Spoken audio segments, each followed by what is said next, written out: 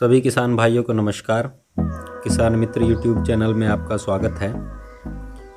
आज का वीडियो हमारा डेडिकेटेड रहेगा। अभी फ्रूटिंग सीज़न चालू हो चुका है, यानी फ्लावरिंग ओपन होना चालू हो गया ऑलमोस्ट सभी जगह पे।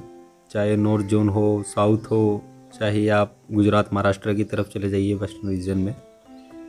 सब जगह पे अभी फ्लावरिंग चालू हो चुका है और फ्रूटिंग आना लगभग सभी जगह पे स्टार्ट हो चुका है। अभी हमें किन न्यूट्रिशन की ज़रूरत है ड्रैगन फ्रूट फ़ार्मिंग में।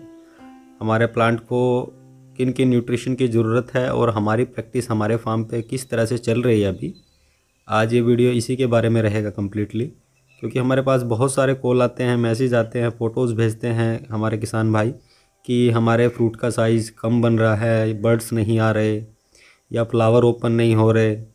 ज़्यादा से ज़्यादा फ्लावर कैसे ओपन किए जाए ज़्यादा से ज़्यादा बर्ड्स कैसे आए ताकि ज़्यादा से ज़्यादा फ्रूट बने हमारे पोल पे। तो आज इन सभी बातों को कवर करेंगे। तो चलिए वीडियो शुरू कर लेते हैं। सब्सक्राइब कीजिए किसान मित्र यूट्यूब चैनल को और दबाइए बेल आइकन ताकि हमारी आने वाली कोई भी वीडियो आप मिस ना करें। वीडियो शुरू करने से पहले एक छोटी सी अपील है सभी किसान भाइयों से। अगर आप हमारे सोशल मीडिया से नहीं जुड़े हुए हैं तो हमारा एक फ़ेसबुक का पेज हमने ओपन किया है, जिसका लिंक वीडियो के डिस्क्रिप्शन में दिया हुआ है। या आप हमारे टेलीग्राम के ग्रुप के साथ भी ज्वाइन कर सकते हैं, और हमारे व्हाट्सएप के ग्रुप भी चालू हैं। आप उन्हें भी ज्वाइन कर सकते हैं, क्योंकि हम ज़्यादातर लगातार वीडियो ना डालते हुए कुछ अगर ज़रूरी सूचना रहती है या ज़रूरी टिप्स रहती है तो हम ग्रुप्स में या फिर टेलीग्राम के माध्यम से या फेसबुक पेज के माध्यम से हम छोटी छोटी क्लिप या छोटे छोटे जो हमारे ट्रिक्स रहते हैं, वो हम पब्लिश करने की कोशिश करते हैं, क्योंकि वीडियोस काफ़ी लेंथी हो जाता है और हर रोज़ डालना पॉसिबल नहीं रह पाता, काम के कारण से। तो अभी फ्रूटिंग का सीज़न चालू है तो आप फ्रूटिंग के सीज़न में अभी क्या कर सकते हैं कि आपके फ्रूट का साइज़ इम्प्रूव हो, आपके ज़्यादा से ज़्यादा बर्ड्स आए, जिन किसान भाइयों के अभी तक फ्लावर नहीं आए हैं, उनके फ्लावर कैसे आ सकते हैं? और जो किसान भाई अभी फ्लावरिंग ओपनिंग स्टेज में हैं तो उन्हें अभी क्या न्यूट्रिशन की ज़रूरत है? यानी पूरे फ्रूटिंग सीज़न का हम प्लान इस बार शेयर कर रहे हैं कि पूरे फ्रूटिंग सीज़न में हमें किस तरह से अपना न्यूट्रिशन प्लान कर रहा है, यानी फर्टिलाइज़र कौन कौन सा डालना है और किस समय पर डालना है, ये आज इस बारे में हम डिस्कस करेंगे। आप देख रहे हैं फ्रूट का साइज़ भी काफ़ी इम्प्रूव होकर रखा हुआ है हमारे यहाँ पे। ये इस तरह से हम चार ड्रम रेडी करते हैं अपने फ्रूटिंग सीज़न में नॉर्मली इस बार हमारी प्रैक्टिस थोड़ी ज़्यादा ही रही क्योंकि इस बार हम बैक्टीरिया बेस ही जाने की पूरी कोशिश कर रहे हैं क्योंकि लास्ट टाइम हमने थोड़ा करके देखा था रिज़ल्ट बहुत बेहतर आया था। तो इस बार हमने न्यूट्रिशन प्लान में थोड़ा चेंज करते हुए इस बार पूरा कम्प्लीटली बैक्टीरिया बेस ही फर्टिलाइज़र यूज़ करने की कोशिश रही है हमारी इस बार क्योंकि इसका बहुत अच्छा रिज़ल्ट आया है हमारे फ़ील्ड पे लास्ट टाइम भी। ये चार आपको इस तरह से बोतल आपको दिखाई दे रही होंगी। ये गवर्नमेंट बेस ही कंपनी है, इफ़को, जो गवर्नमेंट की सब्सिडरी है।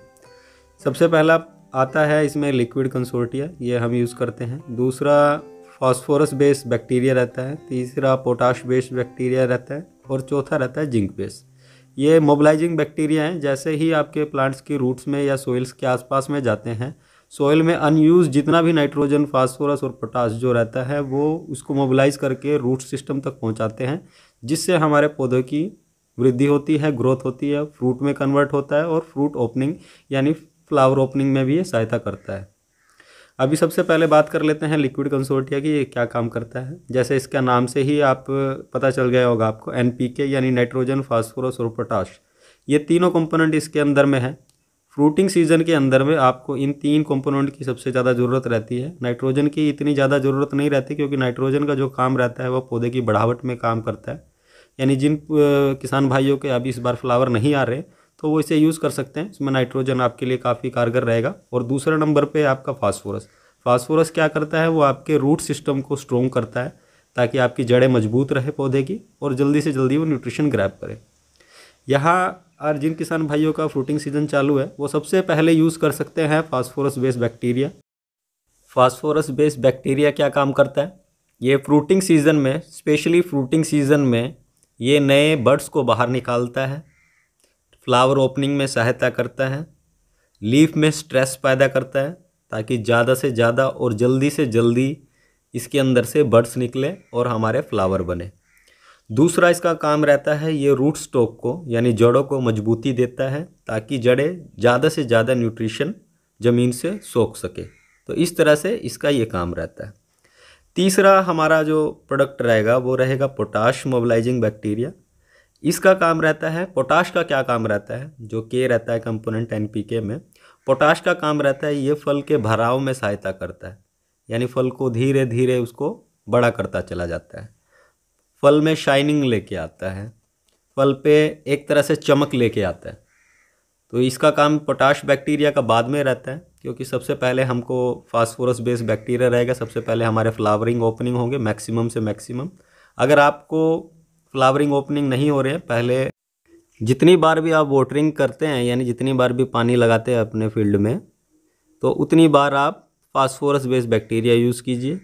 कम से कम दो बार जब भी पानी देते हैं, फ़र्स्ट दो पानी में आप फास्फोरस बेस्ड बैक्टीरिया दीजिए, उसके बाद पोटाश बेस्ड बैक्टीरिया जब आपके फ्लावरिंग ओपन होने चालू हो जाएँ और आप संतुष्ट हो जाएँ कि अभी हमको इससे ज़्यादा फ्लावर की ज़रूरत नहीं है तो आप फास्फोरस बेस्ड बैक्टीरिया बंद कर दीजिए और उसके बाद पोटाश बेस्ड बैक्टीरिया चालू कर दीजिए। तीसरा कंपोनेंट रहता है जिंक। जिंक का भी आप यूज़ कर सकते हैं। ये एक तरह से फल को गिरने से भी रोकता है, फल में जो गिरावट होती है कई बार, उसको भी ये रोकता है और इसके रूट सिस्टम को भी डेवलप करने में काफ़ी मदद करता है। जिंक को सिर्फ़ हम एक ही बार यूज़ करते हैं पूरे सीज़न में, यानी फ्रूटिंग सीज़न में सिर्फ़ एक ही बार यूज़ करते हैं। ये जिंक मोबिलाइजिंग बैक्टीरिया है तो एक बार दे देते हैं तो उसके रूट स्टॉक में अंदर चला जाता है और ये अपना काम करता रहता है। इसको बार बार देने की ज़रूरत नहीं है, सिर्फ़ वन टाइम यूज़ कर सकते हैं आप इसको। लेकिन यूज़ करके ज़रूर देख सकते हैं, कोई ज़रूरी नेसेसरी नहीं है। अगर आपके फ़ील्ड में जिंक की मात्रा पूरी है, अगर आपने मिट्टी की जाँच करवाई है और उसमें जिंक की मात्रा पूरी है तो कोई ज़रूरत नहीं है इसकी, आप इसको अवॉइड भी कर सकते हैं। वैसे हम, हमारा ये है कि हम एक बार ज़रूर यूज़ करते हैं इसको। अगर आप इन सब ताम झाम से बचना चाहते हैं, हमारे पास समय नहीं है इन सब चीज़ों के लिए, क्योंकि अगर फ़ील्ड में नहीं रह सकते आप जॉब करते हैं सैटरडे संडे का छुट्टी रहता है या फिर टाइमली मतलब पूरा दिन स्पेंड नहीं कर रहे हैं आप अपने फार्म पे तो आप न्यू लीफ का ये फर्टिलाइज़र यूज़ कर सकते हैं।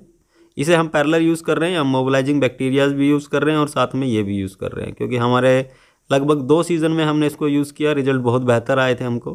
तो इसके लिए हमने इसके दस बॉक्स मंगवाए हैं, जैसे कि आपने देखा भी होगा। और कुछ दिन पहले भी हमने इसको यूज़ किया। हम इसको हर तीन महीने में यूज़ कर रहे हैं।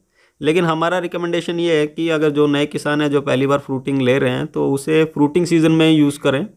अगर आपके या पैसे की किल्लत नहीं है, या फिर आप एक्सपेरिमेंट के तौर पे भी करना चाहते हैं कि हमको वेजिटेटिव ग्रोथ में भी यूज़ करना है तो आप वेजिटेटिव ग्रोथ के समय भी यूज़ कर सकते हैं। यानी जिन किसान भाइयों के चार छः महीने के पौधे हैं, इनके फ्रूट नहीं आ रहे, अगर वो यूज़ करना चाहते हैं तो वो भी कर सकते हैं। लेकिन हमारा हाईली रिकमेंडेशन ये है कि आप फ्रूटिंग सीज़न में इसे एक बार ज़रूर यूज़ करें, क्योंकि इसका रिज़ल्ट बहुत बेहतर रहता है। और वो सभी माइक्रो न्यूट्रेंट इसके अंदर में हैं, जो पौधे को फ्रूटिंग सीज़न की में ज़रूरत रहती है, क्योंकि एक भी माइक्रो न्यूट्रेंट कम ज़्यादा होता है तो उससे हमारे फ्रूटिंग सीज़न पे इफ़ेक्ट आता है। और अगर फ्रूटिंग सीज़न पे ईल्ड में थोड़ा फ़र्क आता है तो उसमें हमको बहुत ज़्यादा भारी पड़ जाता है ये मामला। तो हमारा रिकमेंडेशन ये है कि आप इसको पैरेलल में भी यूज़ कर सकते हैं। एक बार यूज़ करके देखें, अगर रिज़ल्ट आपका अच्छा आता है तो आप यूज़ कर सकते हैं, वरना इसको अवॉइड कर दीजिए। लेकिन हमारा रिज़ल्ट करीबन तीन साल से बहुत बेहतर आ रहा है तो इसके लिए हमने इसको छोड़ा नहीं है। कंटिन्यू यूज़ कर रहे हैं आपने, इसकी वीडियोस भी देखी होंगी, दो तीन वीडियो हमने डाली हैं और इसका रिज़ल्ट भी दिखाया आपको। तो इस तरह से आप इसको यूज़ कर सकते हैं अपने फ़ील्ड में। अभी दो ही चीज़ों की सबसे ज़्यादा पौधे की ज़रूरत है, वो है फास्फोरस और पोटाश इन दोनों के बीच में अंतर करके चलिए, करीबन पंद्रह दिन का। मान लीजिए आपने पहले पंद्रह दिन अगर फास्फोरस बेस्ड बैक्टीरिया चलाया तब तक अगला जो फ्रूट बनेगा वो पूरा भर जाएगा। यानी आपने अगर एक बार फास्फोरस बेस्ड बैक्टीरिया दिया फ्लावर ओपनिंग हो गए, उसके पंद्रह दिन के बाद पोटाश दीजिएगा।